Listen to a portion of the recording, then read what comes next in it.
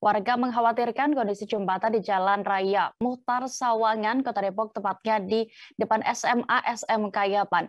Pasalnya terdapat beberapa retakan di sejumlah bagian jembatan yang telah berusia puluhan tahun ini. Untuk mengetahui bagaimana penampakan dari jembatan itu, kami sudah terhubung dengan rekan Dwi Putra Kesuma, reporter Tribun Jakarta. Silakan dengan laporan Anda.